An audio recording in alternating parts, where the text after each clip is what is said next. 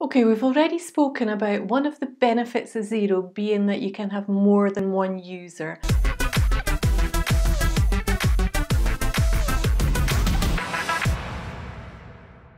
More than one person can have access to your Xero account and also access to your Xero account at the same time if required. So in this video, we're going to take a look at how you set up and how you amend users for your Xero account. You will be a user yourself. You might have other people in your organization that you want to be as users. You might have an accountant or a bookkeeper that will sign in as a user as well. Let's head into Xero and I'll show you how you set these up. Okay, from the dashboard, we're going to settings, general settings, and then we're going to go to users. Now, any users that are set up will be listed here. If you want to make any changes, click on the three dots and then you can say change permissions. And that's where you would make amendments. But let's go back and let's look at adding a user. We simply go to the green, invite a user. So you fill in a name, you would fill in an email address and then you tick what you want your user to have access to. So if you're using Xero Projects, you would tick that box and then it would ask you the level of access that your user needs. If you're using payroll, you tick this box if you need full access to payroll admin for your user. We don't need it, we can untick that. All we're interested in at this stage is talking about the accounting, business and accounting access. So we tick that and then it says how much access do you want this user to have. Let's look at read only. Read only is great to give to somebody who you want to look at your account but you don't want them to make any changes. So you can see that all they have is read only access. You can't tick anything here, it's all greyed out. Then what other kind of access can you have? So if somebody's not doing much in your Xero account but they do need access, there's the invoice only. And you really need to spend some time understanding what access you want to give a user and what access they can have in Xero.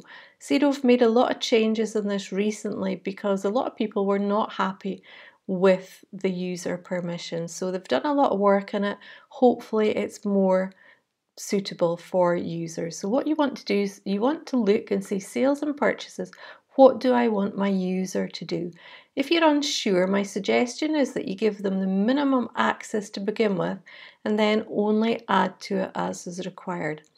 Again, if you scroll down and see anything greyed out, it means that's not available to tick. So if you said somebody has invoice only access, clearly they're not going to have access to bank accounts, to reports, settings and to manage users. Standard user will have access to most of the standard things in your Xero account, so sales and purchases and bank accounts. Then you can see, can they run reports? You can tick or untick that. An advisor is the highest level of access that you would give somebody.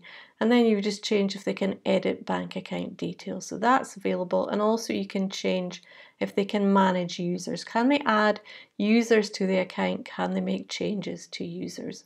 So you do need to spend a bit of time trying to understand user roles. And you can click on this blue here, understand user roles. And that takes you into document from Xero that tries to explain what the user roles are. It will take you a bit of time to make sense of them. So we've selected what we want. We'll say we only want invoice only and we only want a new user to create drafts.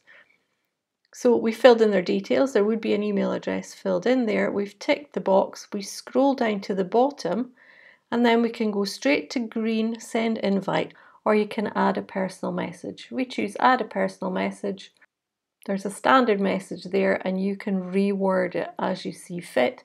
And then when you're happy with it, you just select send invite.